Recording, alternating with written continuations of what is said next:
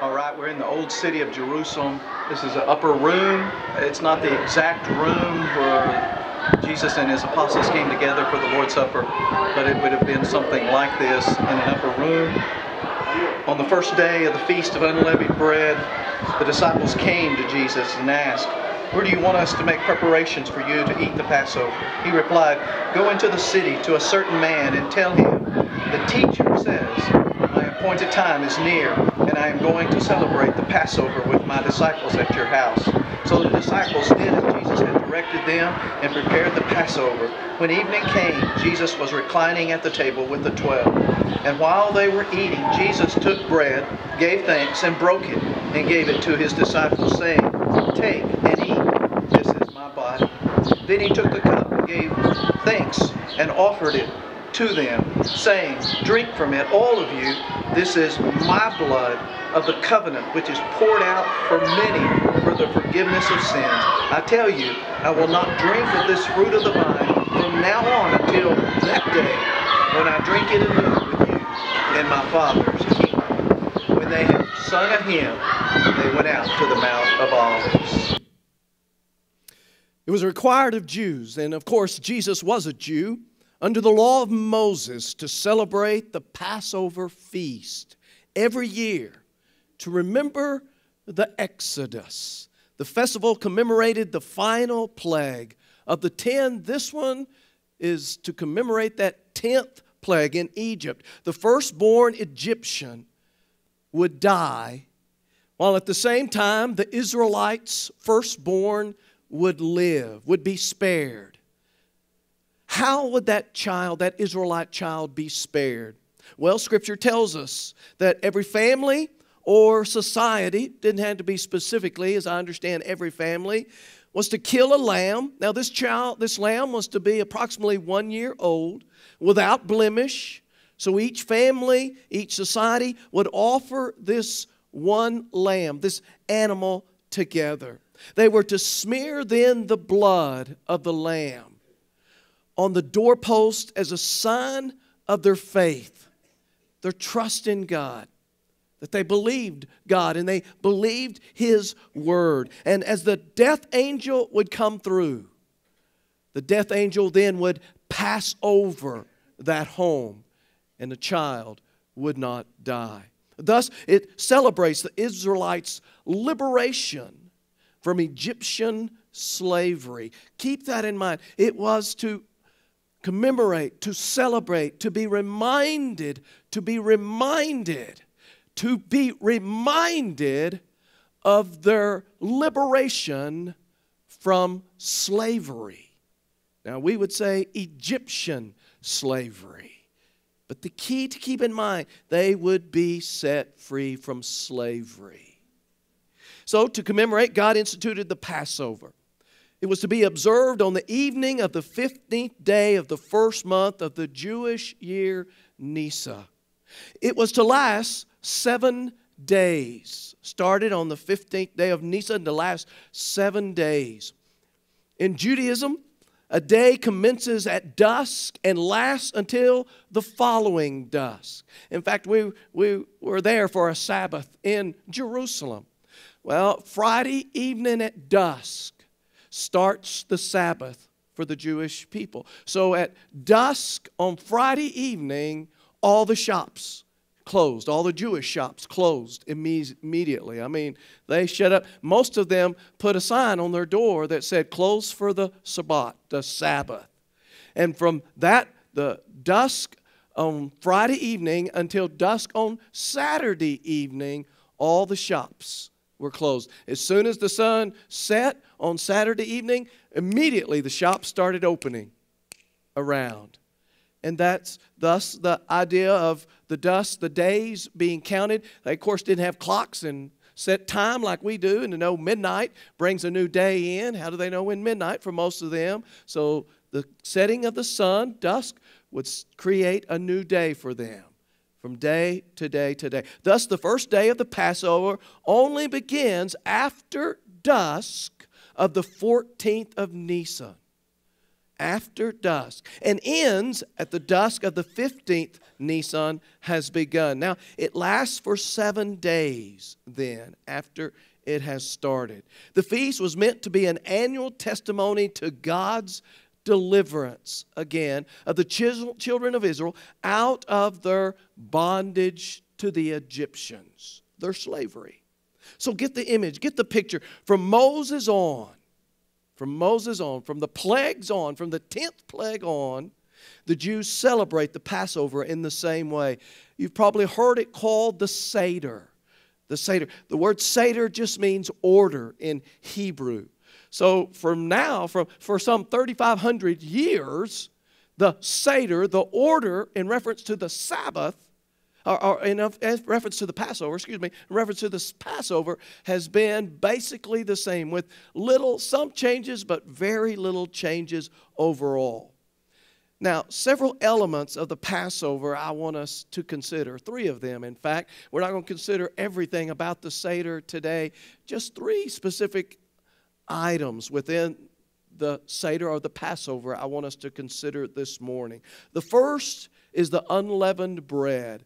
Every year at the Passover, the Jewish people were to have unleavened bread. Well, what does that mean? Of course, bread without yeast bread without yeast. Two parts of the Passover in reference to the yeast. On the 13th day of Nisan, the people were to come into their home and literally do a major house cleaning. They were to go through the house and make absolutely sure that no, not any yeast was allowed to remain in the house for the next seven days during the Passover. So they would come, do a major sweep through the house to remove all yeast. That's the first part of the unleavened bread concept. The second part is that they would make bread, of course, without yeast, unleavened.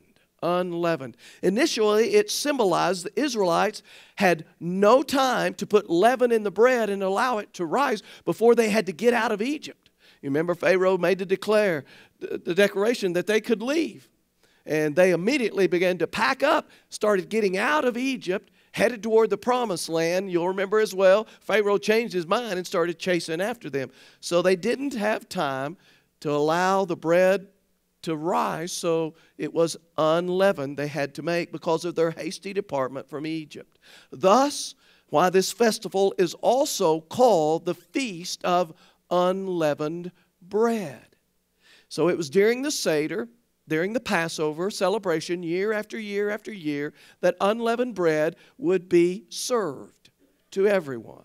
It had a couple of purposes, but I want you to get that in mind. This unleavened bread would be served during the Passover remembrance celebration. That's the unleavened bread. Next, the juice. The juice of the fruit of the vine, wine. Four times in the Passover remembrance celebration, the Seder, four times wine is served, even till today. Four times. Each relates to the promise, promises literally found in Exodus chapter 6, verses 6 through 7. Now, that would tell us it's before that Pharaoh had actually set them free. God made four promises in this passage to the Israelite people. They can be summed up. God promised his people he would bring them out of Egypt. He would bring them out. He promised that he would free them from being slaves. He would bring them out, free them from being slaves. The third cup that would be served is the promise that he would redeem them unto himself. Redemption. Redeem them. The fourth promise, he would take them to be his people once again, take them back to be his people. The key is of the four promises, remember that third one especially. He would redeem them. So during the celebration of the Passover, four different cups would be served, and those at the Seder would drink them. They knew that the third one represented the promise that God would redeem them out of their slavery in Egypt unto himself. The third element I want you to consider then is the lamb. We have unleavened bread, we have wine, juice of the vine, and we have a lamb. A lamb was selected on the 10th day of Nisan. 10th day. Ponder that this week. We're going to come back to that next Sunday. On the 10th day of Nisan, the lamb was selected. Now, it was not uh, killed, sacrificed until the 14th, but it was supposed to be selected on the 10th day of Nisan. Sacrificed then on the afternoon of the 14th day of Nisan.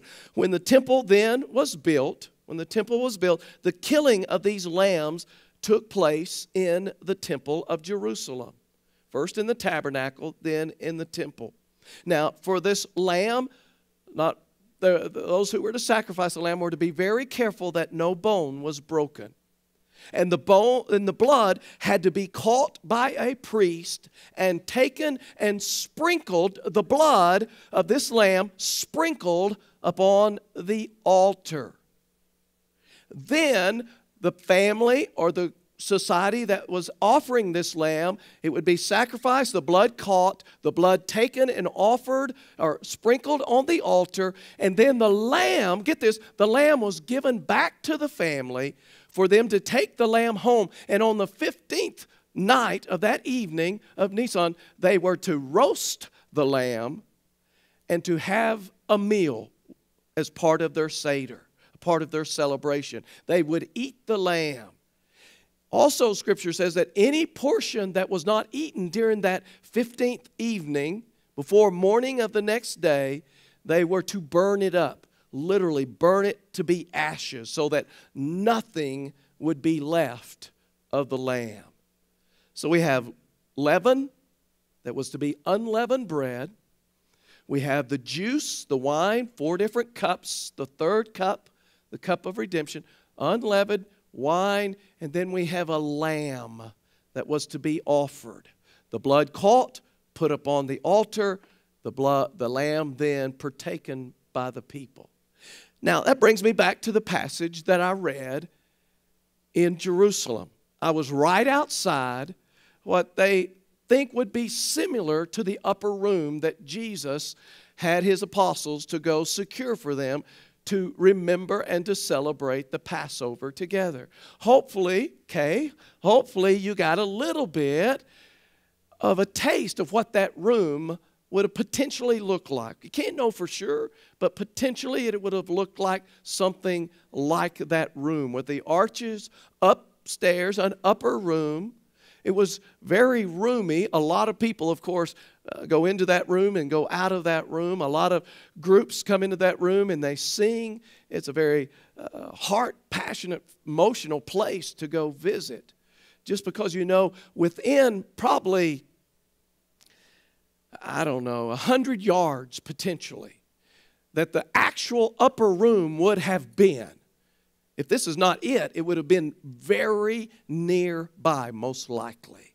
So you get a feel and an understanding of what it must have been like when Jesus is going to celebrate the Passover together with his followers, and he had them to go to an upper room and secure it today. And during that Passover time, he institutes what we call his supper, the Lord's Supper, during the Passover time. So that Matthew chapter 26, verses 17 through 27 speak of that reality. Jesus is going to meet with his apostles in this upper room to celebrate the Passover. Just so you know, know this, just so you know this, it is argued by scholars, those who really study the reality of Scripture to the very depth of its possibility. It is argued by them whether Jesus is really on that night in that upper room, really celebrating the Passover with his apostles. Why would they say that? Well, Matthew, Mark, and Luke seem to imply that he was. John implies that he wasn't if the dates are right, he was a day early in celebrating the Passover. Actually celebrating. He would have been in that upper room on the 13th day of Nisan. You are to sacrifice the lamb on the 14th on the afternoon and then start the celebration officially on the 15th. He would have been a day early. John implies that that's reality. The others do not. For me, it's not a big deal. I'm comfortable with it. The Lord knows He's Jesus, the Son of God. If He wanted to do it a day early, hey, He's all right with that. What we do know, or I'm all right with that, what we do know, the elements for the Passover celebration would have clearly been in the room. Everything they needed. It was the day of preparation. So everything they needed would have been there in the room. It would have been in the context of that room. It would have been there. The reality is then they would have come in and cleaned the room. No yeast can be there. So in your mind, see the apostles getting there and cleaning the room. Every every little pinch of yeast had to be removed. They would have baked unleavened bread for the Passover. So you can smell unleavened bread. They would have had the juice, they would have had the wine ready to be used for the Seder. And then there's the lamb. Let's come back to the lamb in a minute. Well, let's look at these three elements in reference to the Lord's Supper that he instituted that night. Think first of the unleavened bread. Unleavened bread. You remember initially it was to signify that they didn't have time to put leaven yeast into the bread and allow it to rise before they could, had to get out of Egypt, get out of Egypt, get out of Egypt fast. Over time, leaven became to represent error, evil, sin. Leaven represents sin. In fact, in 1 Corinthians chapter 5 verses 6 through 7 it implies that sin left unchecked will permeate and infect everything. It gets into everything. You understand a little leaven in the bread impacts the whole loaf. Well sin in our life paul speaks of in that First corinthians impacts our whole life. Jesus spoke of the reality of the pharisees leaven or their yeast that was impacting everything as well that being true, note that Jesus says what he says as he gives them the bread. As he's instituting his, his supper, he gives them the bread and he says, in essence, to them, This is my unleavened bread, my unleavened body, handed over for you. What was Jesus saying? He was saying, This is my pure, spotless, without stain. This is my sinless body given to you. We're going to come to the table in just a moment, and uh, we are going, and I, the deacons are going to hand you a little piece of bread. It is unleavened, it has no yeast in it. When you hold that bread, it symbolically represents Jesus' perfect, spotless body. Given in reference and in place of your yeast filled body. Do you get it? We are yeast filled. We are sin filled. We are leaven filled. Jesus is saying, Here is, apostles, my unleavened body, my sinless body, given for you. Sinless. Scripture indicates that none of Jesus' bones were broken did you hear me a little bit ago? The lamb sacrificed at the Passover, bones were to be carefully not broken. But there is no doubt Jesus' physical body, as he was being beaten, scourged, carrying that cross, nailed to that cross, no doubt his body, even though a bone was not broken, his physical body, no doubt, was broken as the blood was pouring forth. Visualize that. But more significant than that for me is the spiritual reality of the brokenness of Jesus. His body broken by the presence of our sin that he took upon himself.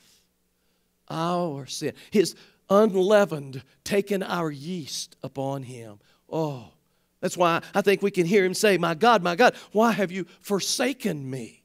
The imagery there is God, in essence, turns his back as Jesus receives our yeast upon himself into his unleavened body. He took our sin. The bread thus symbolizes the sinless body of Jesus given for us to become sin for us. So I want us to come to the table and to partake of unleavened Jesus. Men who are going to serve, if you would step out and come forward, please.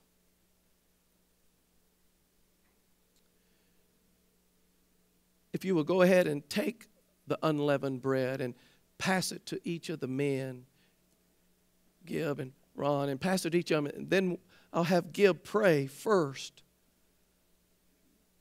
and then you'll be able to serve.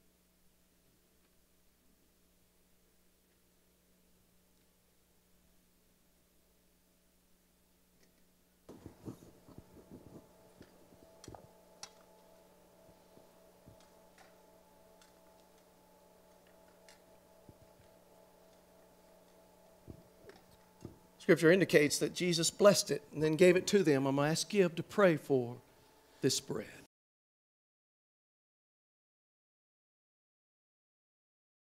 Consider you hold in your hand unleavened bread. Jesus said, Take, eat, this is my unleavened body.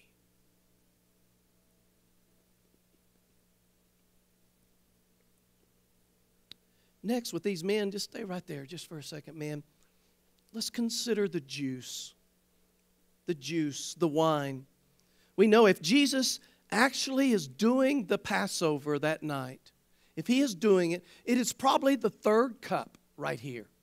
He comes to the third cup and he speaks of that third cup and redemption. To redeem. You remember he told them with the third cup, the Israelite people, he would redeem them out of Egypt, redeem them out of slavery. Slavery to the Egyptians. It is this third cup that speaks of the redemption, the paying, the purchasing of us out of slavery to sin. Do you see it? The blood, the juice symbolizes the powerful, precious blood of the Lamb of Jesus Christ. Jesus is saying, My blood is in this cup, will purchase a new agreement between you and God, between God and humanity. He calls it the covenant, a new agreement. The Old Testament teaches whenever God brought reconciliation with humans, a price of blood had to be paid. That goes all the way to Adam and Eve and right through time. In fact, Hebrews 9:22 tells us without shedding of blood there is no forgiveness. There is no reconciliation without blood being shed.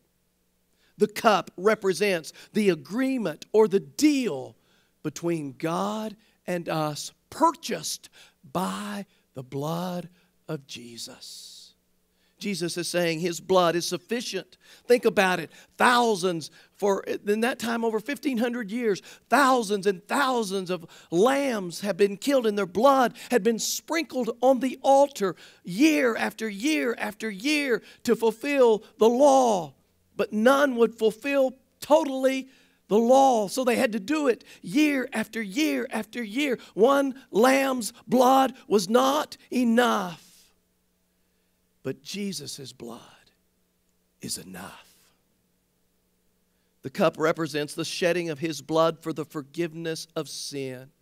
I like the imagery. Think about the Egyptian, I mean, the Israelites in, in Egypt. They were to take the lamb's blood and smear it, smear it over the doorpost of their home, and the death angel would pass over. We are to take the symbolism of the blood of Jesus and smear it over our lives. And the death angel passes over, and life is brought. So let's partake of the juice. Men, if you will serve it, and then I'll have Ron pray before you deliver it.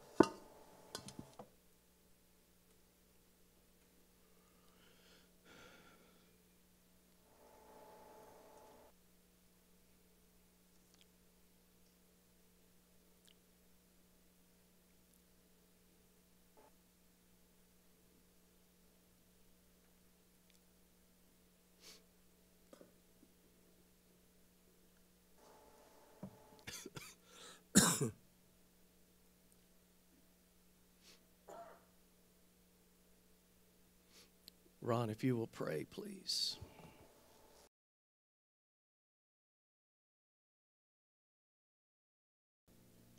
then he said, For this is my blood of the new covenant, which is shed for many for the remission of sin, to redeem, to purchase, to buy. Men, you may be seated. Oh, yeah, one other element. Where is the lamb? The lamb was to be sacrificed, the blood caught, the blood was to be sprinkled on the altar. Where is the lamb? Maybe, maybe what we should what should catch our attention most in reference to this upper room experience is that the lamb's not mentioned directly. Remember Isaac asking his father Abraham when Abraham was taking Isaac to Mount Moriah, Jerusalem? Where is the ram? And Abraham says, God will provide. The apostles surely had mentioned it. We don't know whether they had one or not. It's not mentioned. They would have said something, surely. Now get this. Exodus 12:10 says the lamb is to be chosen on the 10th and sacrificed on the 14th and roasted and eaten on the night beginning the 15th day of Nisan. Get this. The lamb was to be sacrificed on the afternoon of the 14th between 3 and 5 o'clock our time. Where is the Lamb? He's on Golgotha. That's where he is. Think about it. In the temple, they would have been running one lamb after another and slashing that lamb's throat, taking, catching the, the blood and going and sprinkling it as they had for thousands of years on the altar again, on the altar again, while at the same time, the lamb was giving his life on a cross. That's where the lamb is. That's why he could say, It is finished. It is done. His payment was complete payment. No more lambs needed to be sacrificed. His was complete. Jesus is on the hill called Golgotha, there giving his life. You remember, it was John the Baptist who declared that Jesus was the Lamb of God in John 1 29. The Apostle Peter spoke of Jesus as the Lamb without uh, spot or defect in 1 Peter 1 19 through 21. In Revelation, John saw Jesus as a lamb looking as if he had been slain. In chapter 5, verse 6, where is the lamb? Look to Jesus. He is the sacrifice who paid for the Passover for us. So that the death, eternal death, and damnation might be passed over us. Thus, the death of Christ marks the release from slavery of sin for all who apply the blood to the doorpost of their lives.